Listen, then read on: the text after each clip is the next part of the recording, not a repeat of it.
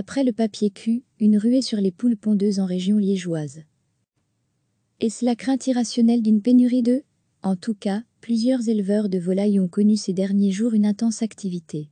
La firme Clabot, à Bierset, a été véritablement dévalisée en une semaine. Toutes les poulettes de printemps ont trouvé acheteur. Quelle que soit la race. Et, la plupart du temps, ce ne sont pas des habitués qui se sont présentés, mais des gens vraisemblablement inquiets face aux images de rayons vides des supermarchés. Pourtant, la pénurie de pondeuses ne menace pas, puisque les couvoirs ne sont plus autorisés à exporter. C'est en fait le transport qui pourrait devenir difficile.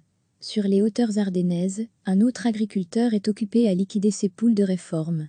Ce sont des bêtes d'un an et demi, en fin de carrière, qui ne pondent plus suffisamment pour être rentables, mais qui pondent encore de quoi nourrir un ménage, et qui sont à céder pour le quart du prix d'une jeune. Son établissement reste ouvert, puisqu'il ne manque pas d'œufs à vendre mais il avoue ignorer, si ses clients ont, ou non, le droit de repartir avec un animal qui, après tout, est à considérer comme source d'un approvisionnement alimentaire de première nécessité. Les règles, pour le secteur des poulaillers restent, à ce jour, plutôt floues. Recevez chaque matin l'essentiel de l'actualité.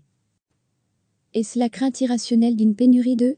En tout cas, plusieurs éleveurs de volailles ont connu ces derniers jours une intense activité. La firme Clabot, à Bierset, a été véritablement dévalisée en une semaine. Toutes les poulettes de printemps ont trouvé acheteur. Quelle que soit la race. Et, la plupart du temps, ce ne sont pas des habitués qui se sont présentés, mais des gens vraisemblablement inquiets face aux images de rayons vides des supermarchés. Pourtant, la pénurie de pondeuses ne menace pas, puisque les couvoirs ne sont plus autorisés à exporter.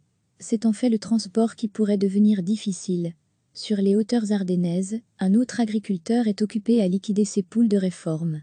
Ce sont des bêtes d'un an et demi, en fin de carrière, qui ne pondent plus suffisamment pour être rentables, mais qui pondent encore de quoi nourrir un ménage, et qui sont à céder pour le quart du prix d'une jeune.